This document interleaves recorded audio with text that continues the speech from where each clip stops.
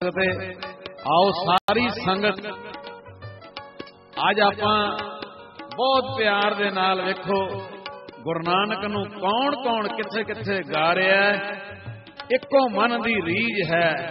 ਤੁਹਾਡੇ ਅੰਦਰ ਸ਼ਰਧਾ ਪੈਦਾ ਹੋ ਜੇ ਕਿ ਸਾਰੇ ਐਡੀ ਦੁਨੀਆ ਗੁਰੂ ਨਾਨਕ ਅਗੇ ਝੋਲੀਆਂ ਅੱਡੇ ਤੇ ਮੈਂ ਕਿਤੇ ਭਟਕ ਨਾ ਜਾਵਾਂ।